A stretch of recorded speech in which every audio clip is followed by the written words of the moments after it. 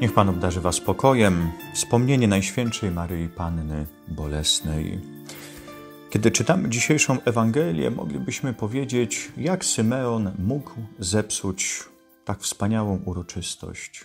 Jak mógł przyjść w takim wyjątkowym momencie, kiedy Jezus jest wnoszony do świątyni i powiedzieć takie trudne słowa. Oto ten przeznaczony jest na upadek i na powstanie wielu w Izraelu i na znak, któremu sprzeciwiać się będą a Twoją duszę miecz przeniknie, aby na jaw wyszły zamysły serc wielu. Przecież mógł poczekać. Mógł poczekać, aż chociaż wyjdą ze świątyni. Może mógł poczekać parę lat, aż Jezus będzie starszy. Maryja też może już więcej zrozumie, będzie też silniejsza. Dopiero jest po tych przejściach w Betlejem, dopiero jest po tym trudnym, dramatycznym porodzie. A on od razu przychodzi, byśmy powiedzieli, że sam jest tym, który kolejny miecz boleści wbija w jej serce. Ale Symeon przychodzi teraz, oczywiście pod natchnieniem Ducha Świętego, żeby pokazać tą misję, którą Bóg przeznaczył Chrystusowi, ale też i tą misję, którą przeznaczył Maryi. I Maryja słyszy te wszystkie słowa. Jak później powie nam święty Łukasz, Maryja również zachowuje te słowa w swoim sercu zachowuje, rozważa i zachowuje, ale nie zachowuje jak drzazgi, które wbijają się w to serce i przez lata tam się trzymają, cały czas sprawiając ból. Maryja kontempluje, Maryja rozważa, Maryja zaczyna rozumieć to wszystko. Te słowa, które my często słyszymy od innych, one są jak drzazgi w naszym sercu. Coraz więcej ich zbieramy, i potem nasze serce może się też wydawać, że jest sercem bolejącym, jest sercem cierpiącym, jest sercem, które właśnie wydaje się, że nieustannie choruje. Maryja ma serce bolejące, ma serce przebite tymi mieczami, ale jest to serce cały czas bijące z miłości do Boga, jest to serce, które rozważa tą historię. Nie po to, żeby potem wylać tą całą gorycz i żółć, ale właśnie po to, żeby zrozumieć. To my często wylewamy gorycz i żółć i mówimy: Mam już tego wszystkiego dość. Mam już za dużo tego wszystkiego, i, i, i różne sytuacje wtedy się dzieją, różne słowa mówimy, różne relacje zrywamy. Mówimy: Mam tego serdecznie dość. Dziś, kiedy patrzymy na Maryję jako Matkę Bożą bolesną, chcemy się od niej uczyć, uczyć właśnie tej wytrwałości, uczyć zaufania Panu Bogu i zobaczyć, że Pan Bóg nie wkracza w nasze życie po to, żeby wbijać w nas te miecze, ale wkracza w nasze życie, żeby nas ochronić, bo przecież wiadomo, że trudności będą, że przeciwności będą, że cierpienie będzie.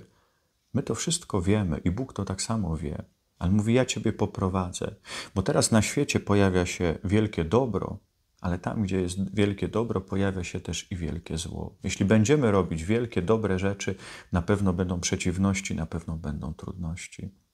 Maryja to wie, ale wie jednocześnie, że jest pod Bożą opieką, że ten Bóg ocieni ją, że ten Bóg ją osłoni, że ta Boża obecność, ta szekina nieustannie będzie z nią, że będzie prowadzona, że zło cały czas będzie krążyć wokół niej.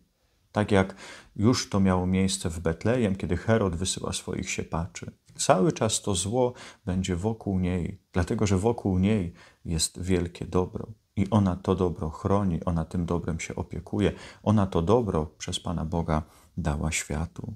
Matka Boża bolesna, ale myślę sobie też, że i Matka Boża szczęśliwa. Szczęśliwa, że Bóg wejrzał na nią, że Bóg powierzył jej tą misję, że Bóg ją całe życie prowadził. I ona przygotowuje się do tego ważnego momentu, momentu stanięcia pod krzyżem gdzie wielu innych odważnych, przynajmniej w słowach mężczyzn, zapowiadało, że pójdą z Chrystusem na śmierć, że go nigdy nie opuszczą. I tam ich nie było. A Maryja stoi, Maryja jest i patrzy na swojego syna umęczonego, a teraz konającego, a potem w rękach, w swoich ramionach trzyma martwe ciało swojego syna. Tak jak teraz w Ewangelii trzyma tego niemowlaka, tak pod koniec Ewangelii będzie trzymać martwe ciało swojego syna ale ona wie, że to nie jest ostatnie słowo, że Bóg tego tak nie zostawi, że Bóg jest potężniejszy, choć pewnie przekracza to jej takie zwykłe ludzkie myślenie, bo jeszcze zmartwychwstania nie było, to ona wie, że Bóg jest potężniejszy. Ciągle to wszystko rozważa i wie, że ostatnie słowo będzie należało do Boga. Bądźmy dzisiaj tymi, którzy spoglądają na Maryję i od niej się uczą. Nie tylko do niej się zwracamy po pomoc, chociaż to jest ważne i potrzebne, ale od niej się uczymy. jak być napełnionym Duchem Świętym, jak te wszystkie sytuacje, które mi tutaj spotykają, przeżywać razem z Panem Bogiem, jak być gotowym na coś trudnego, powiedzielibyśmy po ludzku niemożliwego do przeżycia i przeżyć i cały czas mieć nadzieję. Matka Boża bolesna, ale jest to również matka wielkiej nadziei. Nadziei na to, że po śmierci przychodzi życie, że po tej dramatycznym momencie przyjdzie jeszcze poranek zmartwychwstania. Pan z wami, niech was błogosławi Bóg Wszechmogący, Ojciec i Syn i Duch Święty. Amen.